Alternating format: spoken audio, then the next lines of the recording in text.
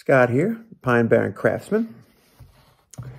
My wife very kindly went out and purchased this, what looks like motor oil container.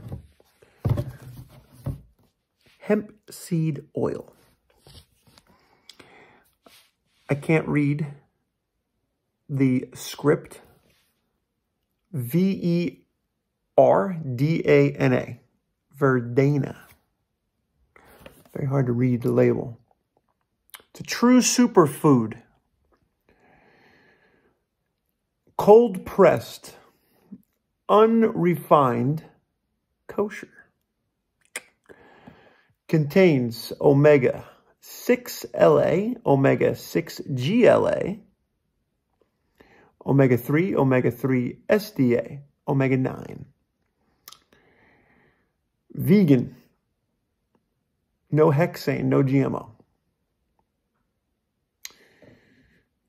Serving size, one tablespoon. I put probably three on my salad. Three. Didn't taste bad.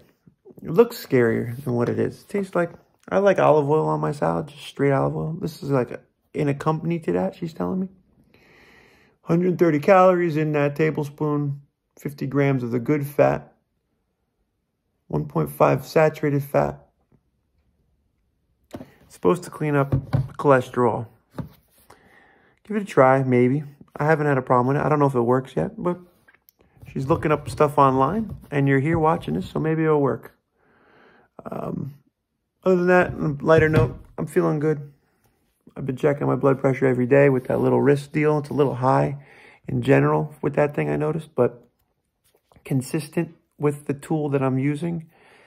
I don't know. I've, I've had blood pressures up to 156. I've had them down to 128. You know, 156 is like you're dead. I don't know. So it could be a little bit off, a couple numbers, but after I flushed the water, in initial, you know, purge of the salt, I did a lot of water.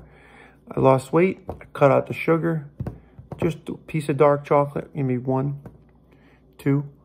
Uh, the fried stuff, nothing. Just been salad, flushing fluids, fruits and vegetables. Feeling better. Sleeping better. Which I didn't realize. And then I did have some fried chicken, I should say. We did take a ride. And I didn't feel good. Did not feel good after I ate that. So the comfort food didn't agree with me after uh, only a week or two of not having it. So maybe this goes to show something. I don't talk to you, happy Valentine's Day.